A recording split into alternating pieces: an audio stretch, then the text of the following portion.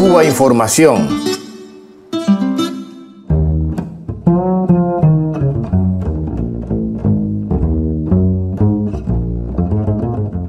Pretendieron vendernos el cuento de una sola América, con Miami como epicentro. Fue en 1994 cuando Bill Clinton, presidente de Estados Unidos, sentó a la mesa en la primera cumbre de las Américas a Carlos Menem, Ernesto Cedillo, Eduardo Frei, Alberto Fujimori y otra serie de ladrones y truanes adalides del neoliberalismo y del consenso de Washington.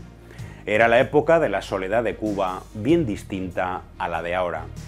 Estados Unidos prometía una gran zona económica desde Alaska hasta la Tierra del Fuego.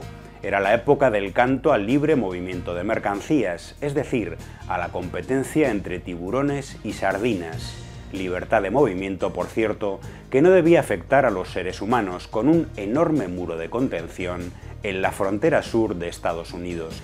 En 2005, una década después, América Latina ya había cambiado y el sueño del ALCA, el Acuerdo de Libre Comercio Continental, se fue al carajo en la Cumbre de las Américas de Mar del Plata, Argentina, gracias a Hugo Chávez, Lula da Silva y Néstor Kirchner.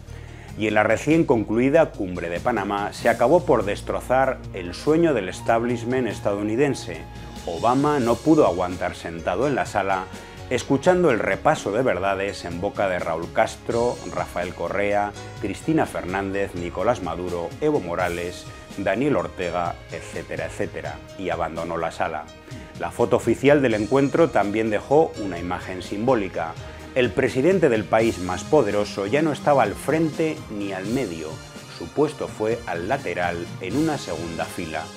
Por supuesto, los medios internacionales en un papel cada día más vergonzosamente propagandista, nos lo cuentan todo justo al revés.